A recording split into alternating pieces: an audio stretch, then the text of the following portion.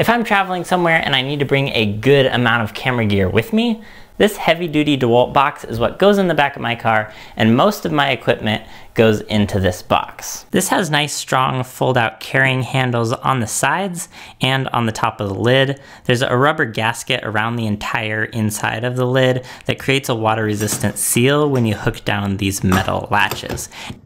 And this box is super tough. You can stack heavy equipment on top of it or even stand on top of it for a step ladder if you need to. I mainly use this box for big equipment like camera sliders, stabilizers, tripods, and lights. But anything that I want quick access to is gonna go into a backpack. Things like my MacBook Pro, iPad, and my main camera. Those are gonna go in here. This is the Brevite Jumper. This backpack is made of heavy duty material. The back of this is padded there's padded straps, a carrying handle, and a luggage strap for hooking over a suitcase handle.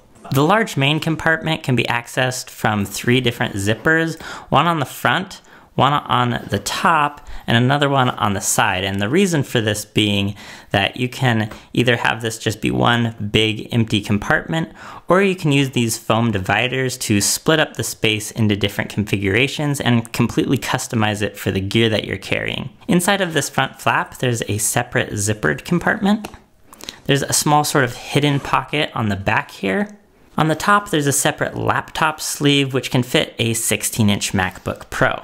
This side pocket can fit a water bottle or a small tripod, and if you need to carry a larger tripod, there's these straps on the bottom of the backpack. I really like how much padding there is in this backpack. I really feel like my camera gear and my laptop are safe when they're packed in this backpack.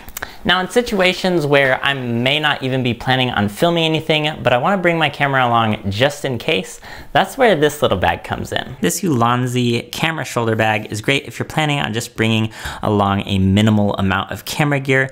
This will fit your camera, maybe an extra lens or two, and a spare battery, but you're not gonna be able to fit much more than that. But if that's all you're planning on bringing with you, then this is gonna be a great bag. There's a padded shoulder strap that can easily detach from the bag if you just wanna use the carrying handle. The bag itself is made of waterproof material and this zipper is water resistant as well. There's two small zippered pockets, one on the front and one on the back. Then inside of the main compartment here, there's a side pouch with magnets that hold it together at the top and a few other small pockets that are just big enough to hold maybe memory cards or a thumb drive. And there's also this Velcro divider, so you can either have a single main compartment or you can split it up into two sections. And this is how I pack up my camera gear in any given situation. Links for each of these in the description below. Go check out some more of my videos right over here, and I'll catch you guys in the next one.